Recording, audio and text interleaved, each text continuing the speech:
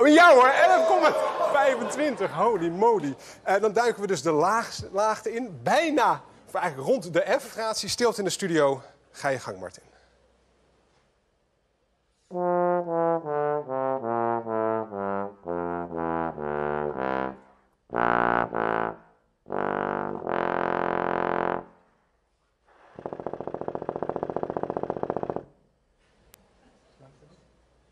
Kan ik nog langer?